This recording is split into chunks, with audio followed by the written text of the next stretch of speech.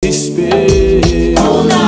Although we forgive seven times seven,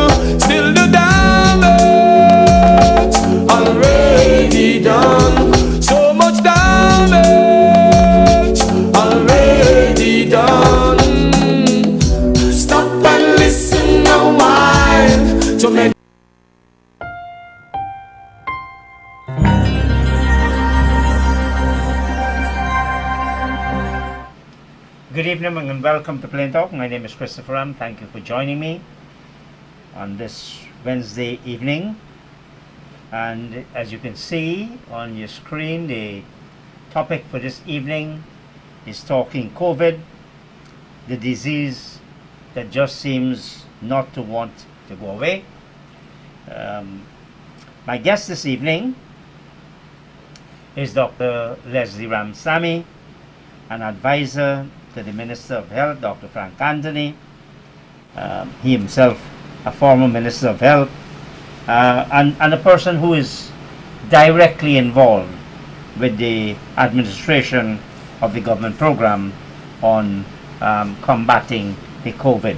So, Dr. Ramsammy, welcome to Plain Talk. Thank you very much. Um, without being too technical, what is COVID? COVID is a disease that is caused by a virus. You know, a virus is is is a i- is, for example, the common cold is caused by a virus. Everybody knows the common cold. Yes. and it is the same family of virus that causes COVID. Um, now, once COVID gets into our body, it causes a number of changes, particularly to the respiratory tract. hmm Um, and from all reports, I think even regular, ordinary people know that people have problems breathing Breathing, yes. because of this virus. Because the virus causes a form of pneumonia. We've all heard about pneumonia. And it also causes plaques in the in, in the um, respiratory tract. You know how people talk about plaques Mhm. in the artery that cause heart problems and so. You get similar type of thing in, in the lungs. So it's a viral disease, just like the common cold. Everybody have heard about HIV. That's a, a virus that causes AIDS. Yes. So there are many different viruses.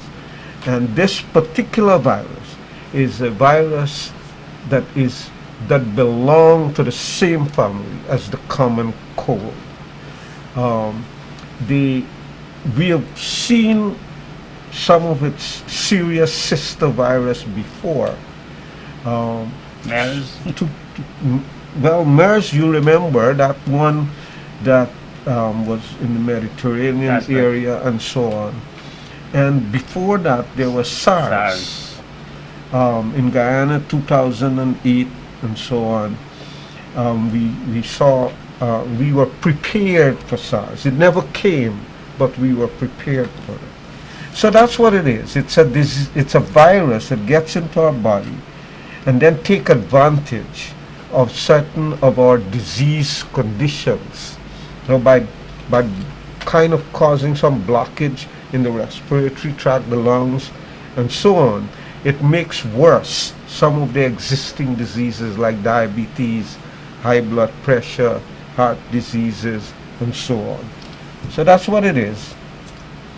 You, you say it's a disease, and it is. Now, why is it you have almost two poles? On the one hand, people are asymptomatic. You, you, you have it, you don't even know. And then, the same disease can knock someone out, knock the life of someone out within a couple of days. Okay. How do you explain So, that? as I said, the virus enters into our body and causes certain changes. And among these changes, if you have an existing condition like diabetes or heart disease or blood pressure, high blood pressure, um, these changes in our body make these things worse. So there is a high probability that if you have one of these diseases and you get this virus, you get infected with this virus, that you will become sick. Yes. And um, some people will get very sick and not be able to recover. Um, for when the original virus came in March 2020 into Guyana, our Yes. first um, reported case was on the 5th of March um, when a, A lady? a lady came in from the U.S. That's into right. Guyana Patient zero, they call it. patient zero for Guyana. Um, that that virus um, was a virus that didn't cause the kind of changes that would make a person who's generally healthy, um, who does not have any comorbidity. It won't cause any kind of um, symptoms because the person's body is able to respond effectively and you wouldn't know. But if you have an existing disease, um, your body is not able to adequately respond, and, and therefore you get sick. What has happened since then is that these changes that the virus caused to make people with existing disease sick, um, it's causing these changes to occur more rapidly. And therefore, example, the blockage in, in the lungs um, become more rapid. And so even people with no comorbidity are now showing some symptoms. And, and, and so that's why you see more young people being hospitalized than previously. Because previously, one could very well say that the, the virus affect in terms of its diseases the people with that are elderly because Mhm. a higher percentage of the elderly people would have comorbidity than younger people What does, you, you, you- that's the second time you use that term, comorbidity. comorbidity means that if you get this virus in addition to the virus you have something else Yes. not caused by the virus Mhm, mhm. So it's an existing disease. Um, so and, and and among the ones that this virus take advantage of are the what we so the so-called NCDs, the non um, communicable Communicable diseases. chronic diseases, Yes. um, such as cancer, um, diabetes. Is, diabetes initially was the number one comorbidity. Mhm. Um, but now, as I said, it's causing other um, complications. A couple other terms we hear. Well, asymptomatic means you have it, but you, It's in your body, yes. but you're not showing any signs of it. yes. That's what asymptomatic means. Why uh, would that be? Is it because of the person's state of health? Because the person is generally healthy, and the person, um, even though the, the virus is causing some some changes in the body, it's not enough to make them feel sick. Mhm. right? And so often you will go around not knowing, um, not thinking that you need to be tested or so. But the important thing about it is it doesn't matter whether you're asymptomatic or you're symptomatic, you can still transmit the virus. Yes. But once you get the virus, whether it causes any symptoms or not, you can still transmit it. And the efficiency of transmission depends on how much virus is in your body, mm-hmm. right? Um, so that those are the terms and if one thing this virus has caused, even more so than HIV, is it has made people more aware and knowledgeable about some of these terms Yes. that we are talking about. Well, I'm just going to ask you another couple of terms. Uh, you hear of a wave. Yes. Um, the, the first question I, I have is when it, when it started last year, you had um, Dr. Fauci and, and um, Dr. Walensky and so on um, in the US say, but okay, this we're going to get over this, but there's going to be a second wave. How did they know that? Um, since it was supposed to be pretty new. Yes. Well, because virus by nature, right, spreads. That's how they survive. A virus can't live outside of a person's body, right? Um, and so, even if you combat this virus by lockdowns, by whatever you do, um, and there is still one or two or two, as long as there's one person with the virus, there is always the chance that it will continue to spread. Um, and that's why Fauci and others were saying that unless we have a, a vaccine or a medicine that could kill the virus, you are always going to be in danger of it re-emerging, right? Um, and, and so if you take diseases, all diseases that we don't have anymore, like Polio? like polio, if if we um, don't have a high level of vaccination in our country, there's always a chance that it will come back, right? And so when you're dealing with virus, there is no such thing as it's eradicated unless unless you have a vaccine or an effective medicine that will ensure that in this population it's totally wiped out. Um, so that, and because at the time there were two things at the beginning, right? One, you had no vaccine, Yes, and that's right. two, to this day, we have no effective medicine, right? Um, so what people are doing right now in our hospital is treating the symptoms, not treating the virus. Yes. The body, given enough time, is going to develop antibodies to kill the virus, right?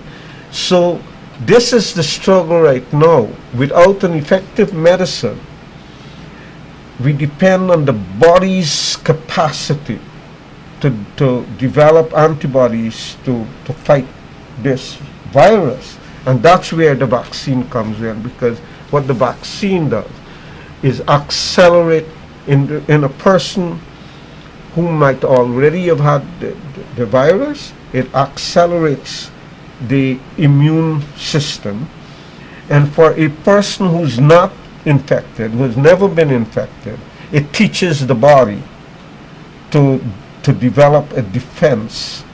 Because if you don't know your enemy, you can't fight it. What the vaccine does is introduce your body to some part of the virus. And therefore, if the virus ever come into your body, the body knows it and bodies can, can fight. We've heard of second, we've heard third, um, maybe fourth.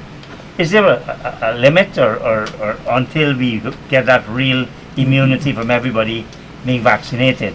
If if you do not have you you have, I'm sure you will ask me too about herd immunity. Yeah. What herd immunity means is there enough of us vaccinated that prevents um, the virus from spreading.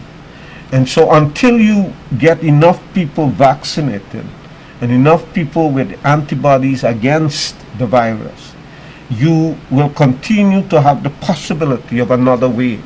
Mm-hmm. There could be one, two, three, four, and things like that. Because naturally, without us quarreling with people, if if you are, let's say, you know, complacent and you're not going to wear your mask and you're not going to take precaution, but suddenly around you a few people start getting it and getting sick, you will get to your senses quickly, Yes. right?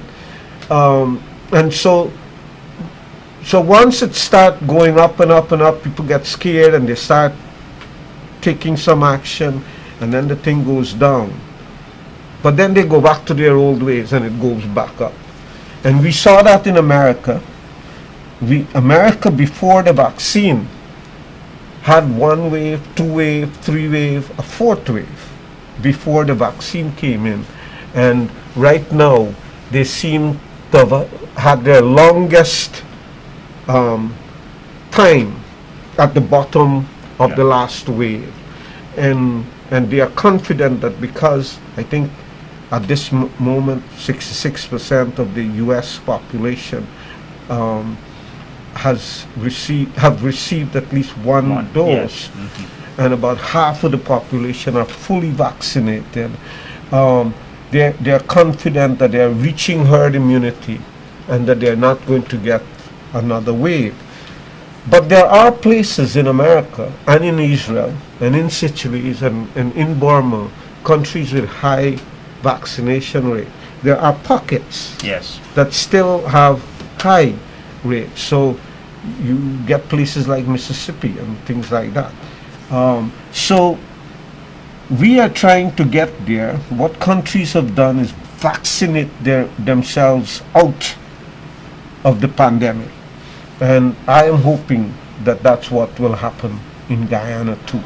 I want to ask you one general question, and we'll go um, to some practical matters. What do they mean? What you people in the science field mean when you talk about a strain? There's a South African strain, there's the Indian strain, and I know now they're getting rid of um, those national descriptions. But um, what do they mean by the strain? Well, I think there's a Brazilian strain as well. There's a Brazilian strain as well. Um, so the virus, every time it's transmitted, and this is not unique to the SARS virus, uh, any virus, every time they transmit, undergo slight changes. Um, when the accumulation of changes lead to some variation in its behavior, um, then we call it a new strain, right? It's the same coronavirus, but it belongs to a new strain. It, it's almost like um, you get married to a person of another ethnicity, and therefore your child is a mixture of the two ethnicities, another um, et- ethnic group being created. Yes. And so even though we talk about, you know, in Guyana, um, Indo-Guyanese, Afro-Guyanese, Amerindians, um, Portuguese, if you look at our population and you start ident- we just say mix. Yes. But there are, because of the initial group of people, we actually have, if you start naming them, hmm we will have many, many, many, many Absolutely. groups, right? So viruses are like that. The the difference is that in Guyana you're talking about 750,000 people getting some mixture in between. Virus in one person in one day, are billions of copies Yes. right? So when you start mixing it up and it changes, you, you, you but it's an accumulation of change that then lead to a different strain. Um, so the strain could, for example, um, would allow a you take TB. There are certain medicine that will kill the TB um, bacteria. Yes. Um, but then it s- start changing, and suddenly that medicine No. cannot attack that anymore. So that's a different strain of it, and, and that's what we have here. And remember that when we talk about 18,000 people in this country, that we know, we confirm, have the COVID virus. It could be that we have 30,000. Yes. Because there are a number of people, if you're not asymptomatic, and we didn't get to you by contact tracing, that you are not documented. So, at the very least, the virus that came in Guyana on the 5th of March, even if we assume that no other virus came here, Yes.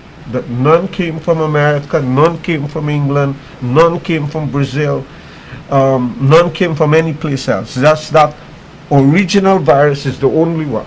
Mhm. Um, by now, it would have transmitted at least 30,000 times.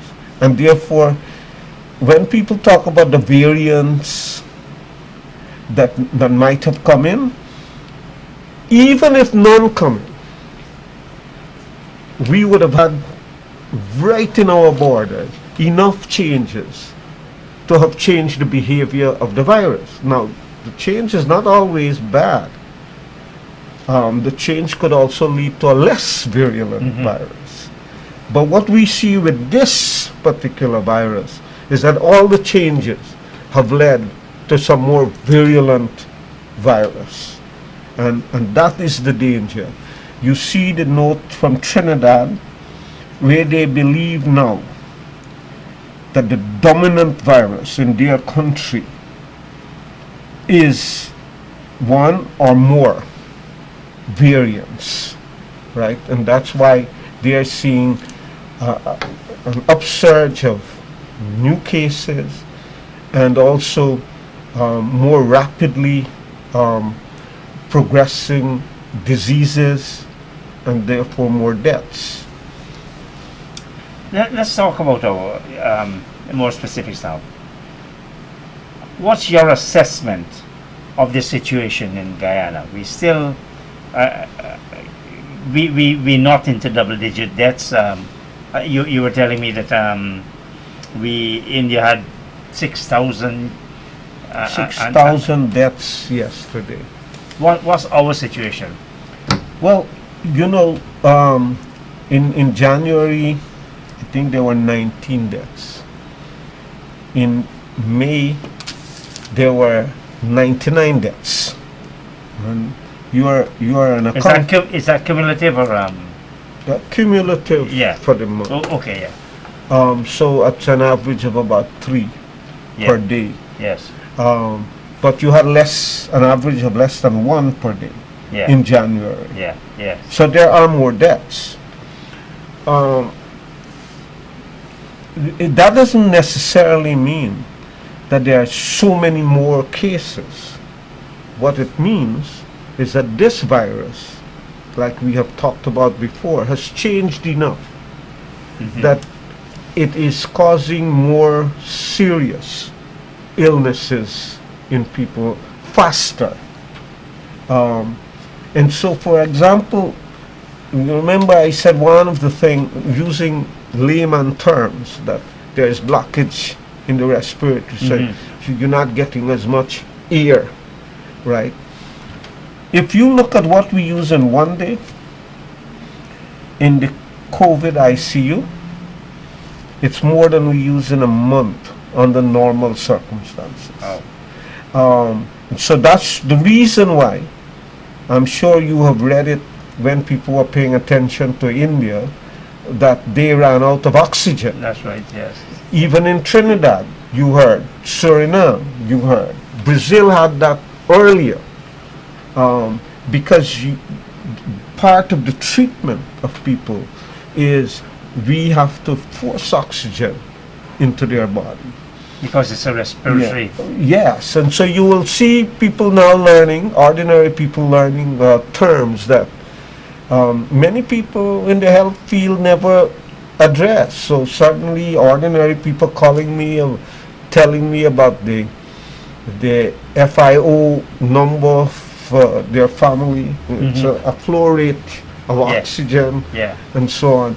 Um, so, yeah, that that the, the major thing here. Um, there are many other changes, but those are the struggles that, that, that we have. Um, given the number of deaths, do you would you say that we have plateaued, we we are on the decline, or in fact the, the real danger is yet to come? I would want to say that um, the real danger is yet to come, but it is not inevitable. We can stop it. I have seen and I, you know, I've heard people say Guyanese are really stubborn people. They see the thing, you know. This is one of the countries where I see, you know, you get a shootout someplace Mhm. and people want to run to Run towards it. right? Yes, yeah. Is what we're doing with the virus right now. Um, if right now you're not vaccinated and you're leaving home without your mask, know that there's a reasonably good chance that you will get sick and go to the ICU. Um, so, so our attitude, and, and, and even though I start by saying that's what people say about Guyanese, we like to go where trouble is. Um, the truth is that I've seen it in other countries. People don't seem to get it because it's not something you see, right? Mhm.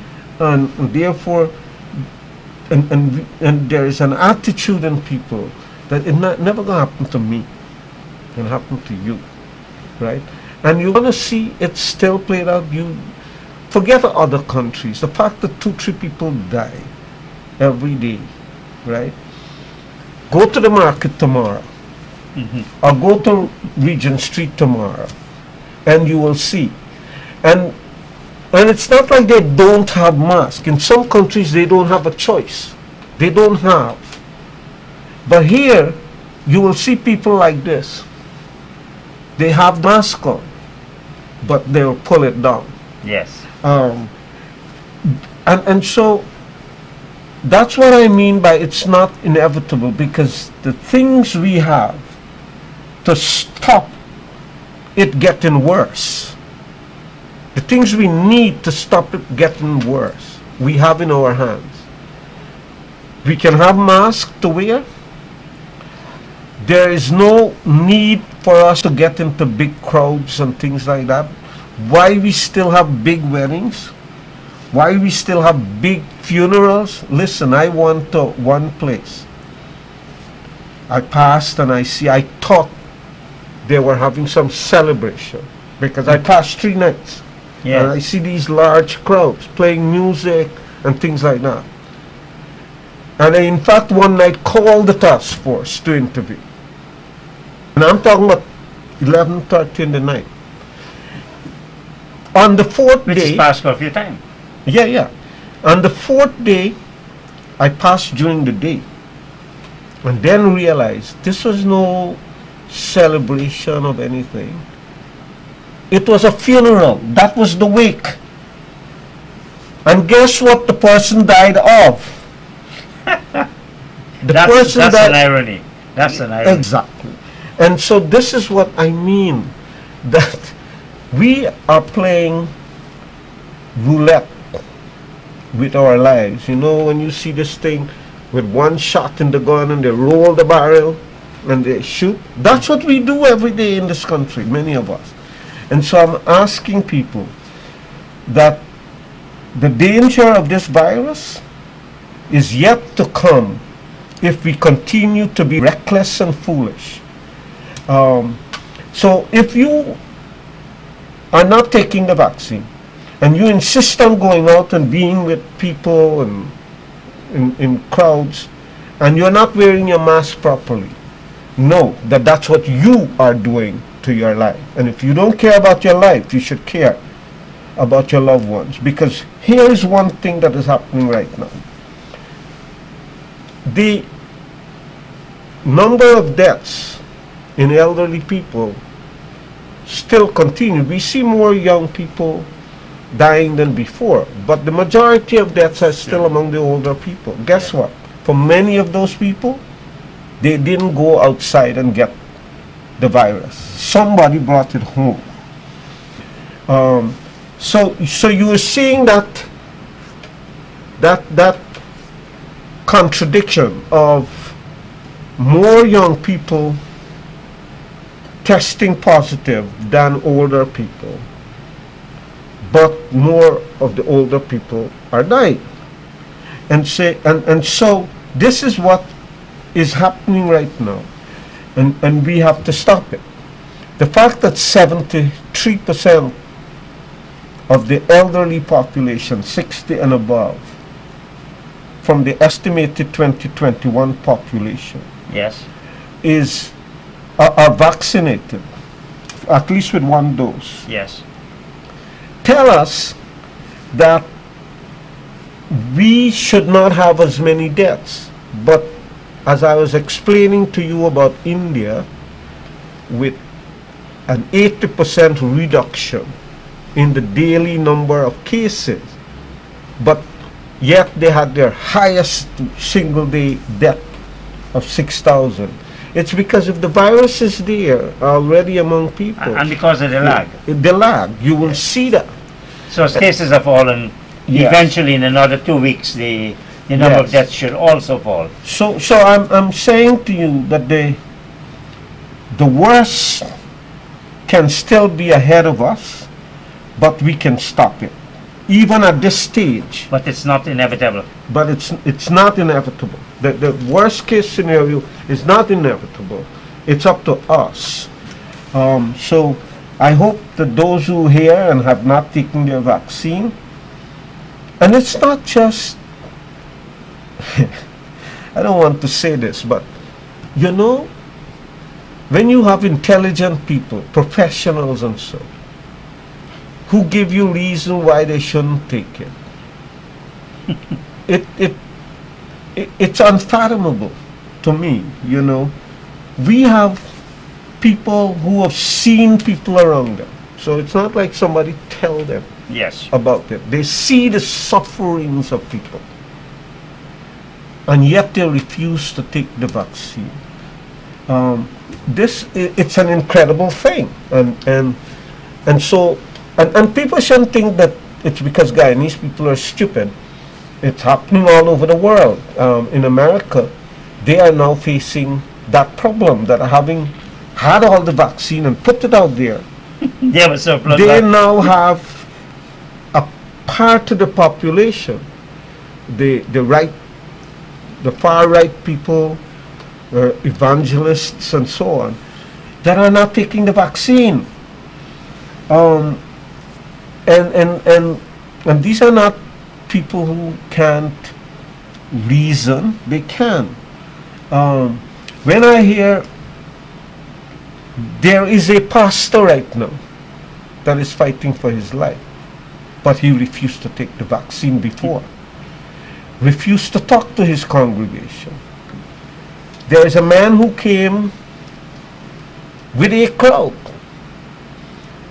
in a, a intimidating way to get us to leave the village. Mhm. He is fighting for his life right now. So, so if these things don't teach people lessons, and unfortunately, you know from our interaction the last few months that the minister, me, a few of us, kind of know most of the people who end up at the hospital from various things. In the last two months, I have seen relatively young people who had the opportunity to take the vaccine. In one case, there's a young man who don't have any objection to the vaccine to take it, but he just couldn't find the time. So he made an appointment every single day for three straight weeks. Mhm. Every single day. The last day he made that appointment, I was in Berbice. I personally made the appointment for him. I was in Berbice, he called me to apologize that he didn't make it. But he said, you know what? I'll come in tomorrow for sure. Because me think I feel so good. And what happened? That evening at around 10.30, I was leaving Riverton. Um, he called me to say, well, he definitely not feeling good. And can I send an ambulance for him? He was admitted that night and one week later died. and, and I don't want to go through all the cases, but every single day I have a story like this to tell. Yeah. Sorry, Beto.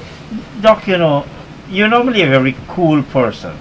You seem agitated I about, am. about what, what you, apparently you think this is um, such an avoidable loss of lives? It is an absolutely avoidable loss of life. This is a serious virus. It's a killer virus. But guess what? We can stop it. It's absolutely preventable. And the difference with this virus and HIV, HIV need two of us to cooperate for one of us to transmit it. Mm-hmm. Because if you have HIV, you can't transmit it to me. Unless you and I decide to do things that um, will Bring us Force. together, yes. And so for HIV, it's a personal responsibility, right? For this virus, it's beyond personal responsibility. I have a personal responsibility to me and to you Yes. because it can spread. It can spread without us having to become involved in certain ways, without me having a tattoo, without me mixing fluids with you, and so on. This one can spread. So you have both your personal responsibility and a civic responsibility um, to you, to your family, to your friends, to the community at large. And so I am confident that sometime by September, close to 80% of us will be vaccinated. But guess what? The rest of them constitute a danger to us. Because what we started with discussing strains of virus. If you allow the virus to continue to transmit even if it's in a small way and you have a virus that has changed so much that even the vaccine don't recognize it anymore then all of us are back to square one and that's my message also to rich countries that if you think you are vaccinating yourself out and you don't take me along Yes. you are in danger But I, I want to ask you, Doc. Um, we we have the those who are hesitant about the vaccines. You have those who are vaccine deniers. Is there any rational basis for people to either be hesitant or to deny and to say no, I'm not taking? it"? Is there a rational basis? There's absolutely no rational reason. So, because we have documented in Guyana the reasons why people um, don't take the vaccine, because we document every day from our public health workers who go out and meet people and get a sense of why. So, one reason people gave, one early reason, in Guyana, and also in some of the European and and in America is that the vaccine has some kind of a microchip yes. that that is going some, to some liquid chip in it, yes. that will allow the government to spy on you. In Guyana, they reinterpret that to mean um, PPP people will spy on PNC people or ACNU people or what. So you would know, I'll, I'll Yeah, save yeah, yeah. this vaccine for that person. R- I'll- yeah, yeah. So, so it can't be rational. That It- can't be it's rational. not rational. And as I explain to people, um, this is not about politics, but if, if you think that there's some reasonable thing that that is so, why would Mr. Granger have taken the vaccine? Why would Mr. Harmon take the vaccine? Yes. Because if you're going to spy on anybody and another political party, Yeah, aren't you going to spy on the leaders? Absolutely. You know, so But, but um, okay, the, the one with the liquid chip is so far-fetched. Even sci-fi can Right. But what about that these the vaccines that have come here might have been rejects from from other countries, or that the vaccine might have got contaminated in Guyana because you know uh, we're a pretty careless bunch of people. This is what I would say to people that this country has one of the most successful vaccination program in the world for Both in terms of availability, well I'm talking about vaccination in general. Yes, for decades. Yes, for decades. Okay, no country no country whether it's developed country or developing countries have won more UN gold medals for vaccination than this country. In my time as minister alone and it didn't happen when I was minister alone right? Yeah, but in my time as minister of health we won it seven times. Over how many years? seven years for seven different years. Yes, our coverage has been consistent at around 100%. So when it comes to, you know, certain ethnic group don't believe in vaccine, um, I'm on a television program, so I can't use certain language. That can't be true because whether we are Afro-Guyanese, Indo-Guyanese, Amerindians, whatever we are, we take we children to get their vaccine. yes. Do you know that every child at this moment in this country, if you are, if if you are three years old, you already have had 16 different vaccines. different. Yes. Um, and When you it's say different, different occasions or different types. It. different types for different 16 different pathogens. Wow. right? Whether it's polio or diphtheria, these things, and so uh, measles, mumps, rubella, um, hepatitis B. We take these vaccines for our children, and we don't have that one ethnic group bring their children more than the other. It's across the board. As of 2010, if you are 11 years old and a girl, you would have had 18 different vaccines because we added in 2010 rotavirus. So that's when people ask me, what did you guys do to reduce the annual uh, death rate among children under five years old? Do you know that in 1990, up to about 1991, 2,500 children under five died every year in this country. And now it's under 200. Wow. And you know why? Part of it is the vaccine. So children who used to die of diarrhea because of rotavirus are no longer dying. And that, that must be also maternal health care. Right. And so this country has never had a problem with vaccination until now. And where this country, because of who we are, can manage va- uh, vaccine, could store vaccine. If you look at the global episodes of vaccines going bad, vaccine not being administered properly, you would never see Guyana's name because we have done a magnificent job. And yes, What do you mean by we? we as a country, mm-hmm. and, and, and I was going to that point, that yes, you could look at the 80s and the 90s and say in the 90s we, we approach 100% and we were below 70% in, in the 80s. But had nothing to do with political parties or governments not being committed to vaccine. One thing I can say, that whatever the government we have had in this country, there has been a commitment to vaccination We believe in it. We, we see a doctor, we always want a doctor Ye- to see it. yes, we believe in it. So this this thing that is coming now, and then I see big people coming to me and say, "Oh man, me frightened, me frightened needle.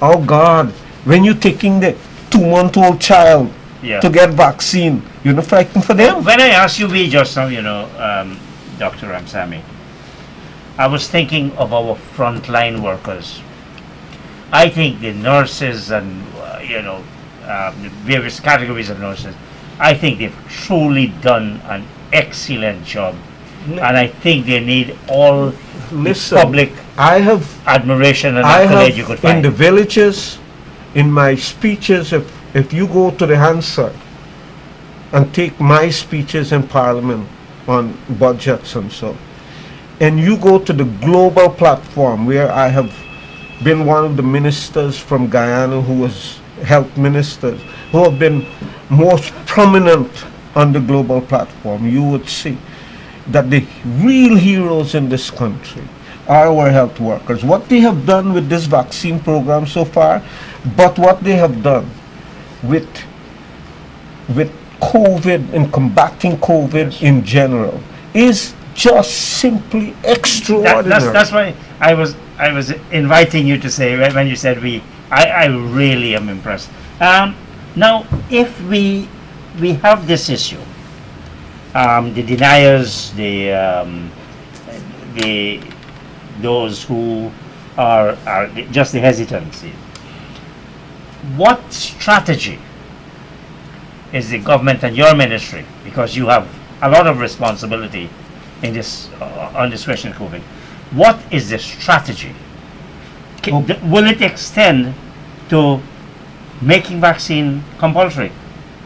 making vaccination compulsory. You know, the, the um, in the U.S. it came out today that workplaces could insist on mandatory vaccination. and the U.S. Supreme Court.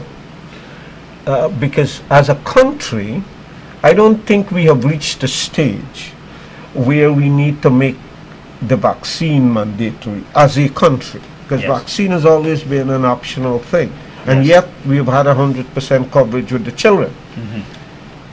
However, I have pointed out to people that every restaurant worker in this country, and in fact, the public health inspectors could go to the vendors on the street. Absolutely. If you don't have a food vendor certificate, now you can refuse to take the hepatitis test, you could refuse to take some of these tests, or the vaccine, the hepatitis vaccine. Because those are personal. You can refuse to, but you can't get a food vendor's certificate because that's to work public, there. Because that's a public. Exactly. And so, when I hear that one employer says, you know what, if you don't have the vaccine, you could still work here, but this is what I need from you. That every week you must go get a PCR test. You know, like how we have a. PCR test to come into the country Yes. this country has said, if I have, I have rights, right? I could say, "Mm, I don't want a PCR test. And this country has said, the people who are outside, if you ain't take it, Don't you can't come. So it's your right not to take it. So, how we use these voluntary things um, become important. And, and at some point, our government will say that the PCR test we offer for free will still be free when a doctor needs that test to make a diagnosis. But if you need that to travel, if you need it for for to, to go to a workplace because you ain't want your vaccine, then that's your cost, Mhm. right? Um, I know one of your friends, senior counsel in this country, who went to his workplace and say, everybody got to get the vaccine. And, but because he has given up leadership of the place, and the leader of the place said, the head of the place said, well, we can't force them. And he said, well, that's okay. It's either that person or me. Yes. The person went and get the vaccine. Another person who's pregnant says, well, me doctor said me can't take it. And the person say, well, go get the letter from the doctor and come. Let the doctor tell us. Because there could be medical reason why somebody can't Yes. get it. Yeah. Um, and so the person just simply went and took their vaccine. Um, so, so there are things that we may need to resort to. I, I do believe that we can persuade a larger number of people. So we started out in November, December.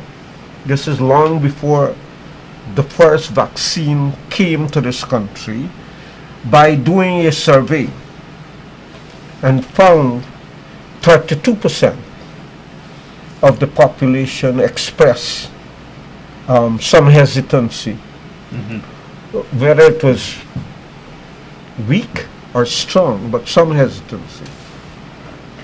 And that's consistent with what other countries found. Shockingly, the highest hesitancy was among health workers, Mm. um, nurses, and so. There are still some nurses that refuse to take the vaccine. It, but after three tries at one nursing school, the first time nobody took it. The second time, two or three people took it. The third time, 75 persons took it. So we will keep working with people and explaining, you know, there are some people with genuine concerns. But like like the chip thing, so for example, you have this thing with the mark of the beast. Yes. Um, you know, all these type of things that people use. So we will have to educate people and not give up.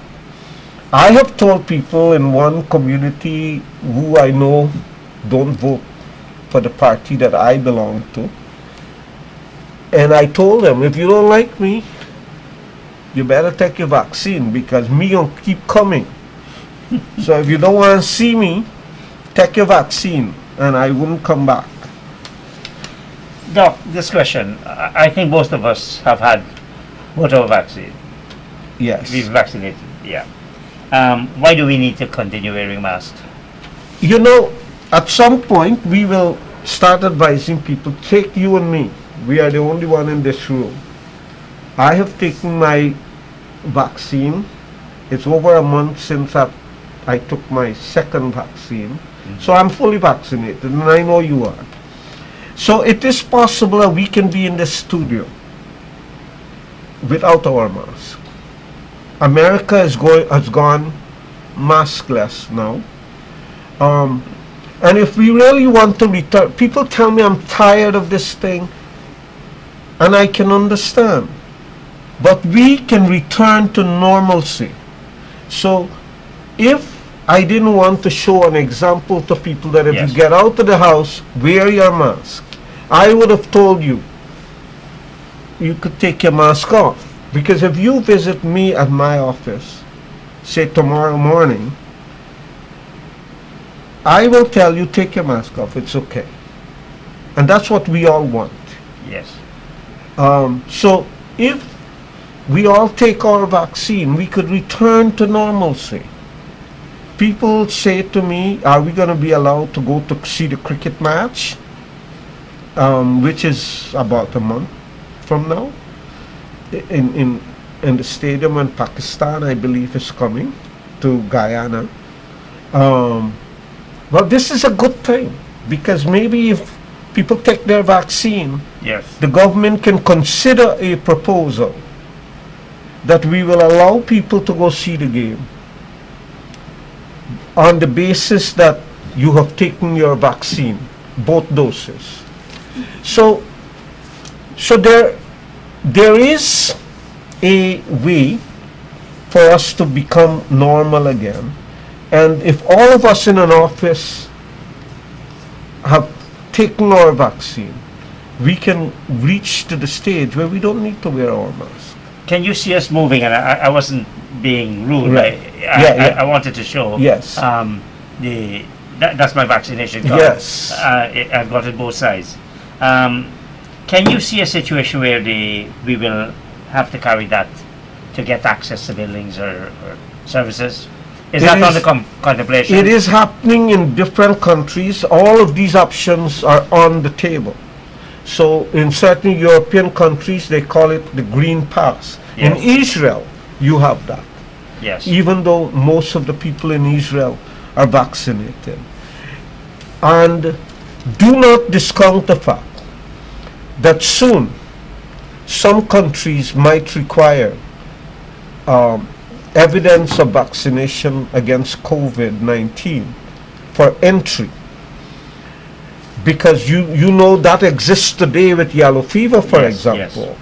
And so these are the reasons. And you know what? The same people that tell me how they're scared and this and that, if they have to travel to Jamaica tomorrow, Jamaica is one country that requires yellow fever vaccine if you come from certain countries, they will run to the Ministry of Health to take their vaccine. Is the government going to make a statement that this card that I've just shown you um, is an official document that does allow you whatever exemptions might be prevailing at the time?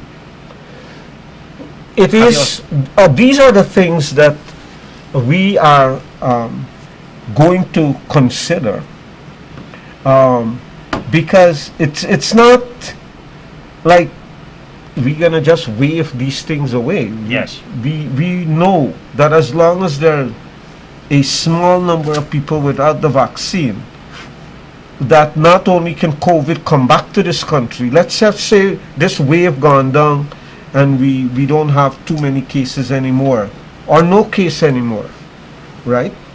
Um, we will always be cognizant that the virus is still someplace. As long as there's a country where the virus is still circulating, there's always a danger that the few people who have not taken their vaccine can allow the thing to come back in. Um, and therefore, we are not going to wait until that happens. Uh, this country will have to have that serious discussion. And so all these things you are asking about, they're all on the table right now. How we decide on this, um, we will um, we, we will see with time. But I think we will be an irresponsible government, more than irresponsible. We will be a reckless, Reckless. government if we don't put these things on the table, um, because we have an obligation to protect our people, and we should not be afraid to do certain things. Um, this government has shown some resiliency when when this country was closed down and the economy went down and we see the risk that you'll die from one or the other. The virus will kill you or people might starve to death. Our economy will be shattered and so we took some hard decision Except that that, that latter part was Yeah. very unlikely Guyana. we- well, but we have to consider it. And, and so these are some of the things that we will put on the table and we will make the hard decisions. I mean, people could, we within government will debate these issues. You know, one of the things I always say about government when I was in government is my toughest time was those debates, not the debates in parliament and so. Those were easy ones. It's the one inside. Yeah. Um, and so, when you make tough decisions, you will not get 100% of people behind you, but we will make those decisions. The light is flashing, so we probably have just about one and a half minutes. Um, how long do you and does your ministry think this situation in Guyana, realistically and based on the knowledge? Realistically, I think that once our vaccines keep coming, um, I believe that you will see by September a, a, a large enough vaccinated population that will uh, bring us close to herd immunity, and and so I'm optimistic. I'm optimistic, um, but that so the vaccines will be there. That depends on our people. Are we willing to return to normal life? If we are, come and get your vaccine now. The, the, the other question I want to ask you, and- this, this is personal to me, personal to you as well, personal to everybody. we both had um, both the, the, the vaccinations. Um, the vaccine. When, how long does this give me immunity for? And you have a series of, I mean, you got Sinopharm, you got um, Sputnik, you got AstraZeneca, you got Johnson Johnson. So How for, long does for this- none of the vaccine we know we know I think we are all confident that we all have a year or so. We might need a booster shot. Some vaccine give you lifelong protection, but some give you shorter periods and you need follow-up booster shots. Because this is a new vaccine, That's right. we can Didn't go through the entire hoops of, definitively say. Um, but we believe that we will have an extended um, protection, but that it will require a booster shot at some point, one year or two years.